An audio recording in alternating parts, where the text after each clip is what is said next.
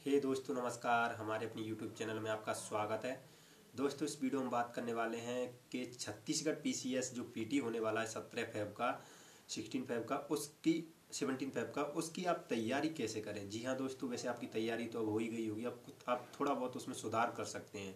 और मैं आपको कुछ ऐसे पॉइंट बता रहा हूँ जिन पे यदि आपकी तैयारी खरी उतरती है तो आप यकीन मानिए आपकी तैयारी सही है। यदि खरी नहीं उतरती है तो प्लीज़ इन जो भी आपको दिन बचे हैं, दस बारह दिन, इनमें आप इसमें इसी के अनुसार सुधार करें। और ये जो भी मैं आपको जानकारी देने वाला हूँ, ये मैंने पिछले सालों के क्वेश्चन पेपर देखे हैं, उन्हीं को ध्यान में रखकर मैं आपको ये जानकारी दे रहा हूँ।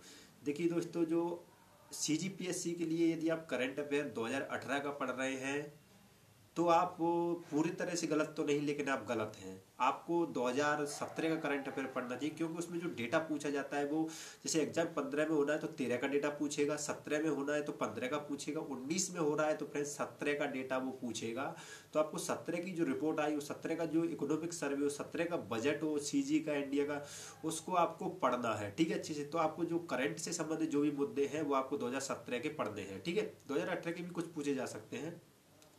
नेक्स्ट बात आती है दोस्तों कि आपका जो जो क्वेश्चन पेपर का जो लेवल है वो आप यानी कि आपने क्वेश्चन कोई भी टॉपिक पढ़ा है तो क्या उसमें एक दो जानकारी, एक दो फैक्ट पढ़े हैं?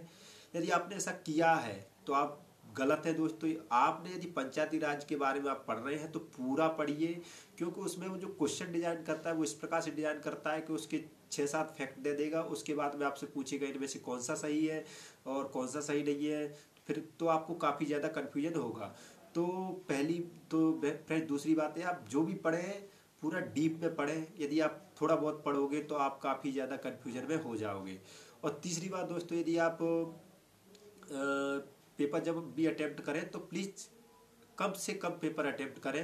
यदि आप ज़्यादा पेपर अटेम्प्ट करोगे तो ज़्यादा क्वेश्चन गलत होने की संभावना रहती है। सीजीपीएससी का जो एग्ज़ाम पेपर का लेवल है, वो काफ़ी ज़्यादा डिफ़िकल्ट आता है और इसका जो सी सेट है, वो क्वालिफाई कर दिया है तो वो उसकी अब ज़्यादा कोई दिक्कत नहीं है। लेकिन फिर भी आप देख लें, उसका वो भी पेपर काफ़ी ज़्यादा डिफ़िकल्ट आता है। और सीजी को हल्के में डालें सी के भी सीजीपीएससी में लगभग फिफ्टी परसेंट के आसपास क्वेश्चन पूछे जाते हैं। और सी जी पी एस सी भी एक और बात है कि वो थोड़ा डेटा पूछता है तो आपको डेटा याद रहना चाहिए, चाहे वो जनगणना वाला हो या फिर इकोनॉमिक सर्वे वाला हो या फिर बजट वाला हो। तो ये कुछ इंपॉर्टेंट बातें हैं दोस्तों, यदि आप इनको ध्यान में रखते हुए आप पेपर सॉल्व करोगे और तैयारी की है आपने इस प्रकार की तो यकीन मानिए आप ज़रूर सक्सेसफुल होंगे। वीडियो देखने के लिए बहुत बहुत धन्यवाद।